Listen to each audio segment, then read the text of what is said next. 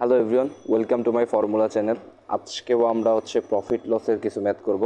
তাহলে চলুন শুরু করা যাক। দেখেন স্ক্রিনে যে ম্যাথটা দেওয়া আছে ম্যাথটাতে কী বলছে সেটাকে বোঝার চেষ্টা করি।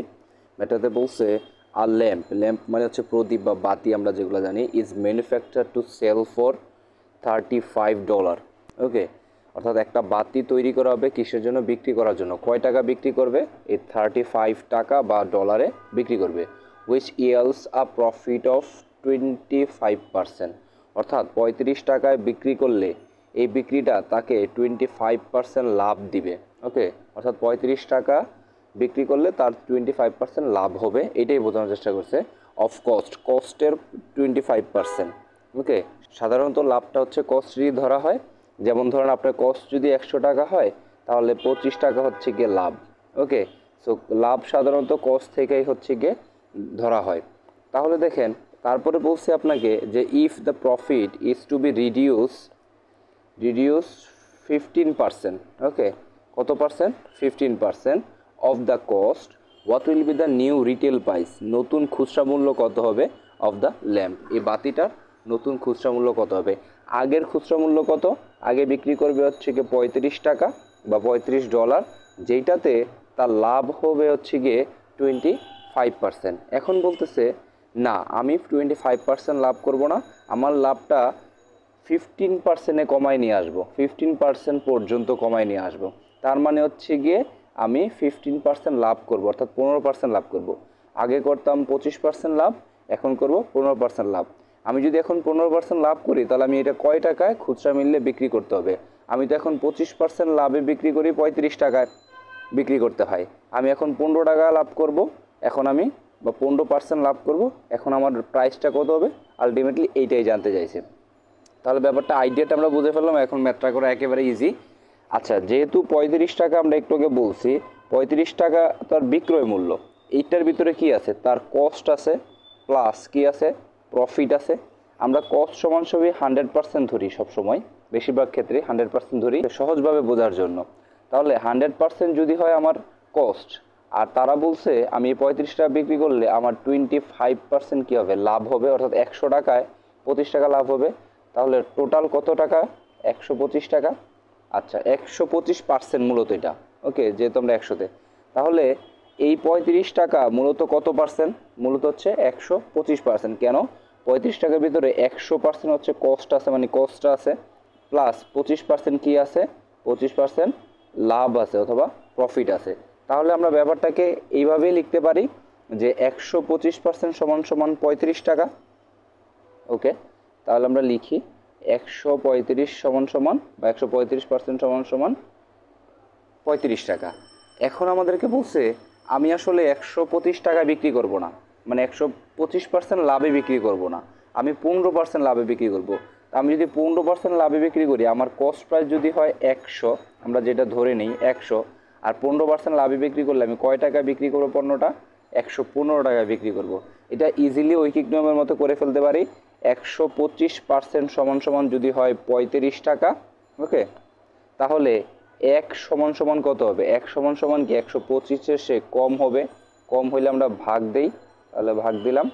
কিন্তু আমি বলছে, এটা এক টাকায় না বা এক পার্সেন্টে না, আমি একশো পনেরো পার্সেন্টে বিক্রি করব ওকে তাহলে একশো পনেরো পার্সেন্ট সমান সমান কত হবে আমাদের? একটু বেশি হবে একের চেয়ে। ওকে, তাহলে বেশি হইলে আমরা কি করি? আমরা গুণ করে দিই। এইটা যদি আমরা হচ্ছে গিয়ে গুণ করি, এই ইকুয়েশনটা পাবো। এখন এইটা কাটাকাটি করলেই আমার আনসারটা মিলে যাবে। তাহলে আমি একটু কাটাকাটি করি আপনাদের সাথে। ওকে, দেখেন, এখানে যদি আমি পাঁচ দিয়ে ভাগ দিই, পাঁচ পঁচিশে একশো পঁচিশ। আর এটাকে পাঁচ দিয়ে দিলে পাঁচ সাতা পঁয়ত্রিশ।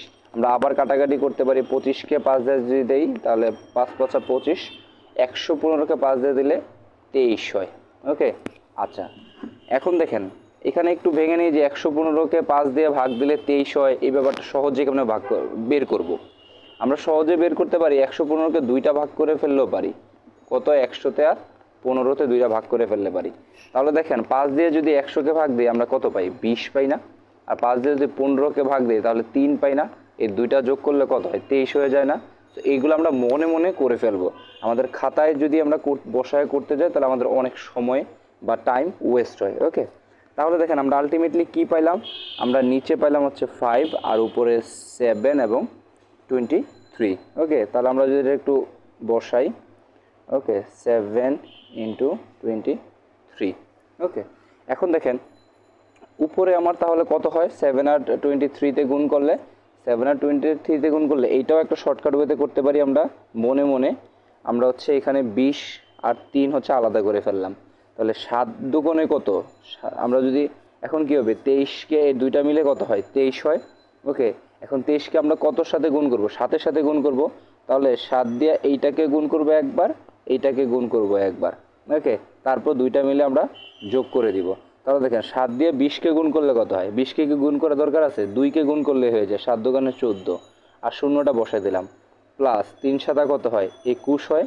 ওকে, তাহলে আলটিমেটলি আমার কত হলো? সিক্সটি ওয়ান এগুলো আমরা মনে মনে ভাগ করে ভাগ করে ফেলব, ভাগ করে গুণ করে ফেলব। তেইশকে দুইটা ভাগ মনে মনে ভাগ করলে বিশ আর তিন হয়।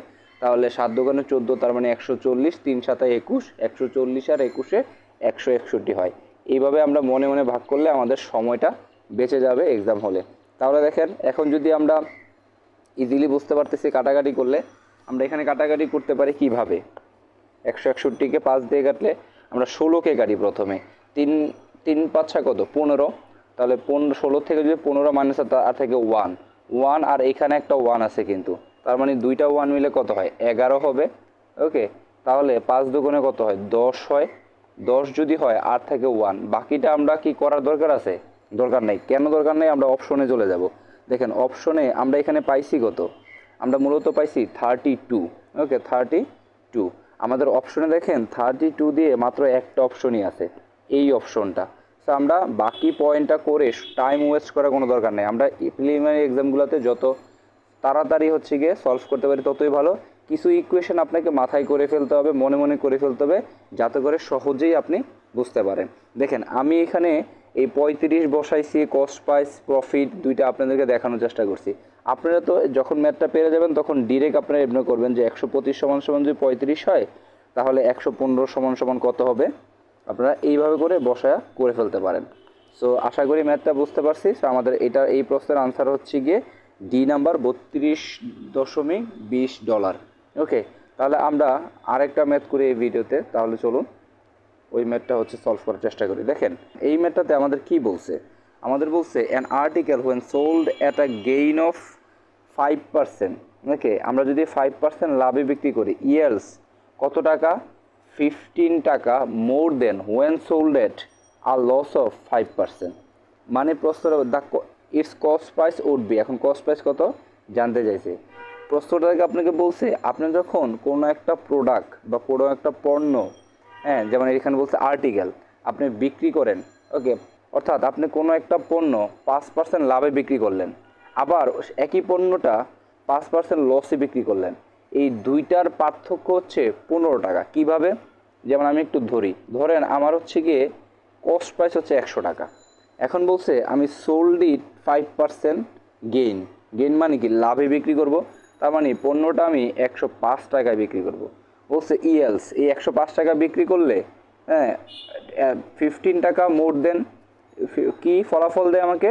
পনেরো টাকা বেশি দেয়। কখন? যখন আমরা বিক্রি করি, আর loss of five percent five percent লসে যখন বিক্রি করি ফাইভ পার্সেন্ট একশো টাকা ফাইভ পার্সেন্ট লসে বিক্রি করলে পঁচানব্বই টাকা। আমি যখন পণ্যটা পঁচানব্বই টাকায় বিক্রি করি, আর একই পণ্যটা আমি যখন এই একশো পাঁচ টাকায় বিক্রি করি, পাঁচ পার্সেন্ট মূলত আমরা এখানে যেহেতু একশো ধরে করছি, সেগুলো পার্সেন্ট আমি যখন নাইনটি ফাইভ পার্সেন্টে বিক্রি করি, আবার আমি যখন একই পণ্যটা একশো একশো পাঁচ পার্সেন্টে বিক্রি করি, এই একশো পাঁচ পার্সেন্ট বিক্রি করার কারণে এইটা, এই আগের যে নাইনটি ফাইভ পার্সেন্ট এইটার চেয়ে পনেরো টাকা বেশি ফলাফল দেয় আমাকে। মানে হচ্ছে আমি আরও পনেরো টাকা বেশি পাই। আচ্ছা তাহলে আমরা এতটুকু বুঝতে পারছি। এইটা বুঝতে পারলে ম্যাথটা ইজিলি সলভ করা যাবে। দেখেন, আমি যখন একশো ফাইভ পার্সেন্টে বিক্রি করি, এই বিক্রি করার কারণে এই আগে যদি- আগে যখন আমি নাইনটি ফাইভ পার্সেন্ট বিক্রি করতাম, এই, এইটার কারণে বর্তমানে আমার কত টাকা বেশি উৎপাদন করে, আমার পনেরো টাকা বেশি উৎপাদন করে। মানে আমি আগের চেয়ে পনেরো টাকা বেশিতে পাই ওকে তাহলে দেখেন, আমি যদি পনেরো টাকা বেশিতে পাই, এখন দেখেন, এই, এইটার সাথে এটার ব্যবধান কত? পঁচানব্বইয়ের সাথে পঁচানব্বইয়ের সাথে একশো পাঁচের ব্যবধান হচ্ছে দশ, অর্থাৎ টেন পার্সেন্ট ওকে এই টেন পার্সেন্ট বেশিতে যখন আমি বিক্রি করি, আমার কয় টাকা লাভ হয়? আমার লাভ হয় হচ্ছে পনেরো টাকা। বুঝতে পারছেন? এখন আপনাকে বলছে কস্ট প্রাইস কত হবে? কস্ট প্রাইস কত? আমাদের একশো হচ্ছে কস্ট প্রাইস আমরা সবসময় কস্ট প্রাইস একশো পার্সেন্টে ধরি। তাহলে দশ পার্সেন্ট সমান সমান যদি হয় পনেরো টাকা। ওকে, তাহলে আমার একশো পার্সেন্ট সমান সমান কত হবে? এটা কি করার কোনো দরকার আছে? এটা একশো পার্সেন্ট সমান সমান হবে দেড়শো টাকা। ওকে দশ পার্সেন্ট সমান সমান যদি শুধু পনেরো হয়, একশো পার্সেন্টে একটা শূন্য বেশি আছে তা আমরা একটা শূন্য জাস্ট অ্যাড করে দিলে আমরা পেয়ে যাই।